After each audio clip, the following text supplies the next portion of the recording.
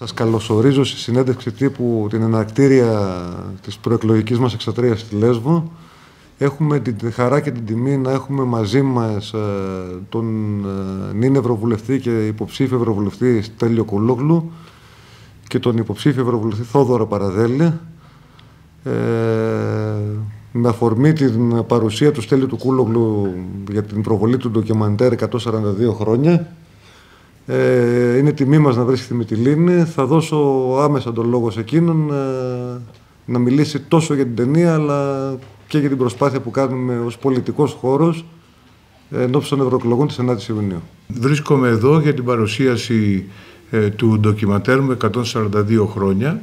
Αναφέρεται σε ένα σχετικά άγνωστο πρόβλημα ε, ότι η δεύτερη μεγαλύτερη κατηγορία φυλακισμένων στις ελληνικές φυλακές είναι πρόσφυγες και μετανάστες οι οποίοι έχουν καταδικαστεί ή είναι υπόδικοι με την κατηγορία του διακίνητη.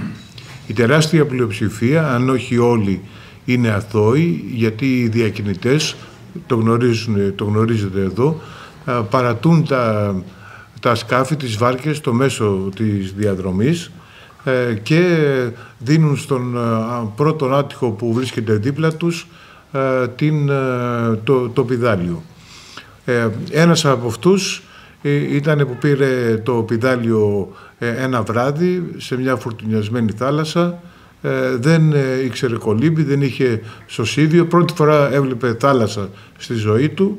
Έσωσε 31 ανθρώπους. Όταν το λιμενικό ρώτησε ποιος οδηγούσε, σήκωσε το χέρι του γιατί πίστευε ότι θα του δώσουν και κανένα μετάλλιο και τελικά έφαγε 142 χρόνια φυλακή ε, και αυτό είναι ο τίτλος ε, του ντοκιμαντέρ που είναι ένα δικαστικό θρίλερ. Ε, το μεγαλύτερο μέρος του εξελίσσεται εδώ στην Μυτιλίνη μέσα από, στο δικαστικό μέγαρο και γύρω γύρω μέσα από τις συνεχείς δίκες που έγιναν για την για την, ε, για την τύχη ε, που καθόρισαν την τύχη και αυτού του ανθρώπου και δύο ακόμα συμπροταγωνιστών του οι, οι οποίοι έφαγαν ε, από 50 χρόνια φυλακή. Ο ένας από τους δύο θα είναι και στην προβολή σήμερα το βράδυ. Κατά, κατά τα άλλα, ήθελα να σας πω δύο λόγια για την κατάσταση στην Ευρωπαϊκή Ένωση, όπου κινδυνεύουμε να την πατήσουμε όπως ο Βοσκός που φώναζε Λύκος Λύκος ε, και όταν ε, τελικά ε, ήρθε ο Λύκος κανείς δεν τον πίστευε. Θέλω να πω ότι πριν από κάθε εκλογές, ευρωβουλευτικές ή άλλες, λέμε ότι είναι κρίσιμες οι εκλογές, αλλά αυτή τη φορά οι ευρωεκλογές είναι πραγματικά ε, κρίσιμες, δεδομένου ότι έχουμε μια σειρά από καινούριους παράγοντες. Πρώτον, για πρώτη φορά στην Ευρωπαϊκή Ένωση γίνεται λόγος για πόλεμο. Όχι για τους πολέμους που ήδη αντιμετωπίζει η Ευρώπη και τις πληρώνει πολύ ακριβά, όπως είναι ο, ο πόλεμος στην Ουκρανία, αλλά και η γενοκτονία στη Γάζα, αλλά επίσης ε, γίνεται γίνεται λόγος για πόλεμος στην καρδιά της Ευρώπης. Ασφαλώς θα γνωρίζετε ότι ο Μακρόν έφτασε σε κάποιο σημείο να προτείνει ε, να στείλει στρατεύματα γαλλικά ε, στην Ουκρανία που θα σήμαινε άμεση εμπλοκή της Ευρωπαϊκής Ένωσης ε, στην, στον πόλεμο με την Ρωσία. Το δεύτερος παράγοντας είναι ότι όλο αυτό το πολεμικό κλίμα έχει δημιουργήσει μια καινούργια κατάσταση όπου οι πόροι της Ευρωπαϊκής Ένωσης κατευθύνονται προς τους εξοπλισμούς. Αντί να κατευθύνονται σε αυτό που πραγματικά έχουν ανάγκη οι Ευρωπαίοι πολίτες, δηλαδή ε, το, την, την υγεία, την παιδεία, τις κοινωνικές παροχές, τους μισθούς και τις ε, συντάξεις τους. αυτή, η νέα, ε, αυτή η νέα πραγματικότητα έχει κάνει ευτυχισμένους τους εμπόρους όπλων, αλλά περισσότερο δυστυχισμένους τους πολίτες, συχνά τους εξοργίζει. Και εδώ έχουμε το τρίτο, ε, το τρίτο, την τρίτη εξέλιξη, καινούργια εξέλιξη, ε, ότι αυτή την οργή και την αγανάκτηση την εισπράττει η ακροδεξιά και γι' αυτό έχουμε ε, μεγάλη άνοδο της ακροδεξιάς.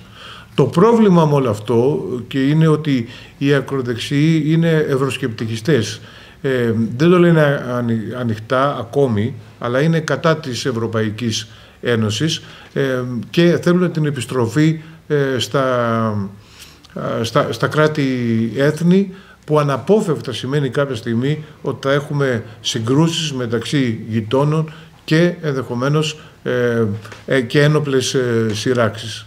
Δηλαδή αυτό το οποίο έχει πετύχει η Ευρωπαϊκή Ένωση έστω με τα χίλια λάθη, με τα χίλια προβλήματα σήμερα, έχει πετύχει ένα ε, ιστορικό αποτέλεσμα, ένα ιστορικό στίχημα, το οποίο είναι ότι για οι χώρες που τον προηγούμενο αιώνα πολεμούσαν μεταξύ τους με δεκάδες εκατομμύρια νεκρούς, αυτή τη στιγμή κάθονται γύρω από το ένα, ένα τραπέζι ε, και ε, συζητούν πολιτισμένα μεταξύ τους. Αυτό πάει και αυτό να αμφισβητηθεί. Γι' αυτό είναι ε, αμφισβητηθεί. Γι' αυτό είναι πολύ σημαντικό να πάμε να, να κατέβουμε στις εκλογές και να ψηφίσουμε δυνάμεις οι οποίες είναι εναντίον του πολέμου, εναντίον της αύξησης των εξοπλισμών και υπέρ της ειρήνης και της δημοκρατίας. Μια τέτοια δύναμη, ε, καινούρια δύναμη στο πολιτικό σκηνικό είναι η Νέα Αριστερά, ε, η οποία παραδείγματος χάρη είναι, ε, και αυτό είναι πάρα πολύ σημαντικό, είναι εναντίον των, των εξοπλισμών, είναι υπέρ της μείωσης των εξοπλισμών, γιατί στο ερώτημα πού θα βρείτε τα λεφτά για την υγεία και την παιδεία έχουμε μια απευθείας ε, άμεση απάντηση. Πρέπει να μειώσουμε τους εξοπλισμούς, να, να υπάρξει μια συμφωνία με την Τουρκία για αμοιβαία μείωση των εξοπλισμών, έτσι ώστε και εδώ και δίπλα που επίσης υποφέρουν οι άνθρωποι να στραφούν τα χρήματα στη δαπάνες στη, στην υγεία και την παιδεία. Ένας, ε, ε, έχουμε και μια σειρά από άλλες προτάσεις για τα καθημερινά ε, προβλήματα των, των πολιτών, τις οποίες θα δοθεί η ευκαιρία το ερχόμενο διάστημα να αναλυθούν και να εξηγηθούν ε, παραπέρα. Θέλω να πω κάτι ακόμα ότι ε, η, το, το 70 έως 80% των αποφάσεων της καθημερινότητάς μας ε, λαμβάνονται στις Βρυξέλλες. Αυτό είναι μια ε, ένας ακόμα πολύ σημαντικός λόγος για να κατέβουμε στις εκλογές και όχι μόνο να κατέβουμε να ψηφίσουμε, αλλά να επιλέξουμε εκείνες τις δυνάμεις που προωθούν τα προ... λύσεις για τα προβλήματα των πολιτών. Τόσο τα γενικά προβλήματα που αφορούν ε, τις διάφορες ε, περιοχές της χώρας και όλους τους πολίτες, αλλά και τα προβλήματα κάθε ειδικής περιοχής, ε, όπως είναι η, η Λέσβος, η οποία και επίσης έχει τα προβλήματά της από την, ε, από την, από την παραγωγή, την αγρο, αγροτικο-κτηνοτροφική έως και το τουρισμό. Ε, έχει θέματα με, γυτνίασης με, τη, με τους ε, ενοχλητικούς ή συχνά επιθετικούς γείτονες και όλα αυτά μπορούν και πρέπει να λυθούν μέσα από ανάλογες παρεμβάσεις στο επίπεδο της Ευρωπαϊκής Ένωσης. Μαζί μου είναι ε, και ο Θοδωρής ε, ε, Παραδέλης, υποψήφιος με τη Νέα Αριστερά, που προέρχεται από τη Λέσβο. Εγώ θα ήθελα να, να κάνω μια ερώτηση σχετικά με μια νέα είδηση που είχαμε από χθες για τη στάση της νέας Προέδρου της Βόρειας Μακεδονίας που αποκάλεσε τη χώρα στην ορκομοσία, στην ορκομοσία της Μακεδονία. Θεωρείτε ότι αυτό μπορεί να ε, θέσει σε κίνδυνο τη Συμφωνία των Πρεσπών; Θεωρώ ότι ναι, διότι δεν έχουν γίνει και τα κατάλληλα βήματα από ελληνικής ε, πλευράς στο διάστημα που έχει μεσολαβήσει ε, από την υπογραφή της συμφωνίας. Ε, από τη μία μεριά η, η Βόρεια Μακεδονία και οι νικητές των εκλογών ανακάλυψαν ότι η πατριδοκαπηλεία μπορεί να σε φέρει και στην εξουσία και αυτό έγινε. Από την άλλη την πλευρά αυτά τα πέντε χρόνια έπρεπε να έχουν υπογραφεί τέσσερα μνημόνια συνεργασίας ε, τα οποία έπρεπε να φέρει η κυβέρνηση στη Μητσοτάκη στη Βουλή για να εγκριθούν από τη Βουλή. Δεν το έκανε όλα αυτά τα χρόνια. Εγώ προσωπικά και ως μέλος της Επιτροπής Εξωτερικών Υποθέσεων με αρμοδιότητα για τα Βαλκάνια και εισηγητής για το θέμα ε, της Βόρειας Μακεδονίας και της ένταξής της, έχω δώσει τουλάχιστον τρεις-τέσσερις ομιλίες μέσα στο Ευρωπαϊκό ε, Κοινοβούλιο, λέγοντας από τους, α, στους αρμόδιους επιτρόπους, πέστε στην κυβέρνηση, φίλοι είστε, πέστε στην κυβέρνηση Μητσοτάκη, να, να, επιτέλους να φέρει προς ψήφιση στη Βουλή τα μνημόνια για να προχωρήσει να ολοκληρωθεί η Συμφωνία των Πρεσπών. Δεν έγινε τελικά αυτό ε, και για λόγους εσωτερικής ε, πολιτικής. Διότι ε, ο, προφανώς ο κύριος Μητσοτάκης φοβόταν τον κύριο Σαμαρά. Και για αυτόν τον λόγο ε, δεν το έκανε όλα, όλα αυτά τα χρόνια. Και τώρα η ίδια κυβέρνηση αυτή λέει ότι ε, ζητάει από την ε, κυβέρνηση της Βόρειας Μακεδονίας ε, να σεβαστεί τη Συμφωνία των Πρεσπών την οποία η ίδια η κυβέρνηση δεν εφάρμοσε στα πέντε αυτά τελευταία χρόνια.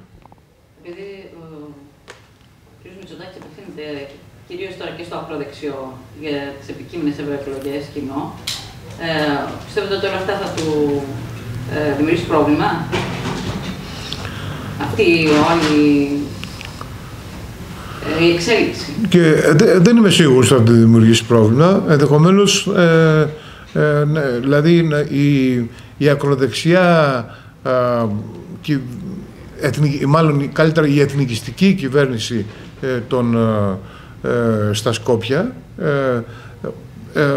συντονίζεται αρκετά καλά με την ε, εθνικιστική, με το φλερτ του κυρίου Μητσοτάκη ε, ε, με τον, με τον εθνικισμό και την ακροδεξιά.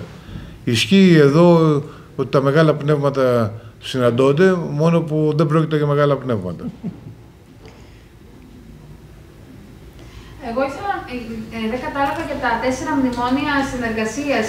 σε τι τι αφορούν, Εξειδικε... ρόλο, δηλαδή το όνομα, Βόρεια Μακεδονία; Όχι, όχι, εξειδικεύουν τη συμφωνία σε συγκεκριμένους τομείς. Και αυτά έπρεπε να είχαν, να είχαν υπογραφεί, να είχαν εγκριθεί από την Ελληνική Βουλή. Έχουν εγκριθεί από τη Βουλή των Σκοπίων, από τη Βουλή της Αθήνας δεν είχαν εγκριθεί και η έγκρισή τους θα, θα αμοιβαία θα προωθούσε τη συμφωνία, θα την, θα την βάτινε και θα την, ε, θα, θα, θα την ε, έκανε άτρωτη από πολιτικές ε, εξελίξεις όπως αυτές που είχαμε στην, ε, στη Βόρεια Μακεδονία. Δυστυχώς αυτό το πράγμα δεν έγινε και δεν έγινε με αποκλειστική ευθύνη του κυρίου Μητσοτάκη που το γνώριζε το θέμα και του, είχαν πει, του είχαν συστήσει επανειλημμένως από την Ευρωπαϊκή Ένωση να, το, να προχωρήσει. Μάλιστα υπάρχει και σχετική απόφαση της Ευρωπαϊκής Ένωσης με ψήφισμα που, στο οποίο συμμετείχα στην ε, επεξεργασία του, το οποίο συστήνει στην κυβέρνηση της Ελλάδας να προχωρήσει στην, ε, στην ψήφιση των μνημονίων. Δυστυχώς αυτό δεν έγινε και το πληρώνουμε σήμερα. Δηλαδή για μία ακόμα φορά, για λόγους εσωτερικής πολιτικής κατανάλωσης και μικρακομματικών ε, σκο, σκοπιμοτήτων, ο κύριος Μητσοτάκης πρώτον βάζει, βάζει προβλήματα στην περιοχή των Βαλκανίων που είναι μια πολύ ε, κρίσιμη αλλά και εύληπτη περιοχή και συγχρόνως κάνει ε, ακόμα ζημιά ε, για τη θέση της Ελλάδας στην Ευρώπη. Βεβαίως. Ε, όσον αφορά, ε, με αφορμή το ντοκιμαντέρ βασικά, θα ήθελα να ρωτήσω για τις μη κερδοσκοπικές οργανώσεις, τις ΜΚΟ, ε, εσείς είστε, σας έχω δει και στα δικαστήρια και τα λοιπά, εδώ πέρα που έρχεστε και τα λοιπά. Πιστεύετε όμως ότι οι ΜΚΟ, ειδικά στη Λέσβο, ε, κάποιες, όχι όλες, δεν έπαιξαν αρνητικό ρόλο; Ε, νομίζω ότι... Η Στην προσφυγική κρίση εννοώ. Από ποια το λέτε, ε, αρνητικό σε ποιο κομμάτι; Ε, ίσως από θέμα εκμετάλλευσης κάποιες φορές. Κοιτάξτε, δεν, δεν μπορώ να αποκλείσω ότι υπήρξαν ε, περιπτώσεις ε, ε, ανθρώπων, μεμονωμένων ανθρώπων ή καμιά φορά και από τις δεκάδες οργανώσεις που ήρθαν εδώ που είχαν αλότριους σκοπούς. Αλλά το βέβαιο είναι ότι η, η μεγάλη πλειοψηφία των ανθρωπιστικών οργανώσεων έσωσε ζωές.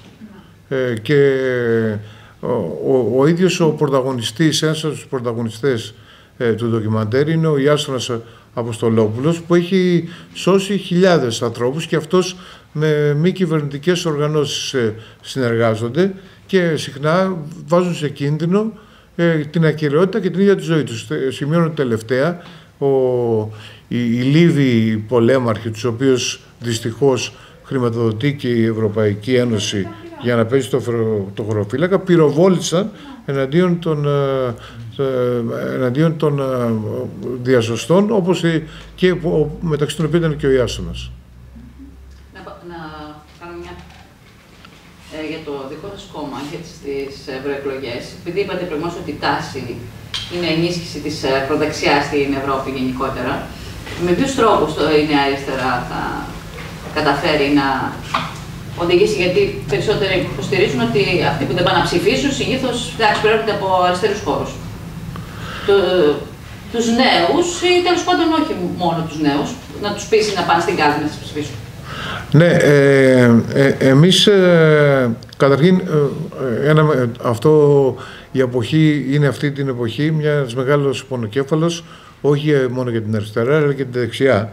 Φοβάται και ο κ. Μητσοτάκης ότι ε, για λόγους ε, δυσφορίας με την πολιτική του οι κλασικοί ψηφοφόροι της Νέας Δημοκρατίας δεν θα πάνε να ψηφίσουν. Αλλά βεβαίως ε, πρέπει να ομολογήσουμε ότι και στον χώρο της αριστεράς, ιδιαίτερα μετά την ήττα του 23 και τις εξελίξεις που ακολούθησαν, υπάρχει, απο, υπάρχει απογοήτευση και μια μερίδα κόσμου τίνει να αποσυρθεί από την ενεργό δράση και ενδεχομένως να μην κατέβει και στις κάλπες. Εμείς ε, θέλουμε να κάνουμε ένα καινούριο ξεκίνημα.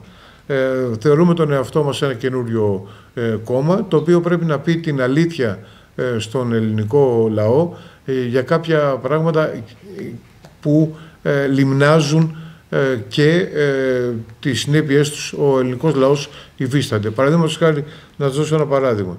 Η, το, το παραμύθι αυτό της ε, δωρεάν παιδεία στην Ελλάδα. Είναι το πιο σύντομο ανέκδοτο η δωρεάν παιδεία στην Ελλάδα. Ε, τα ελληνικά νοικοκυριά πληρώνουν ακριβότερα από οποιοδήποτε άλλο ευρωπαϊκό νοικοκυριό τη μόρφωση των παιδιών τους.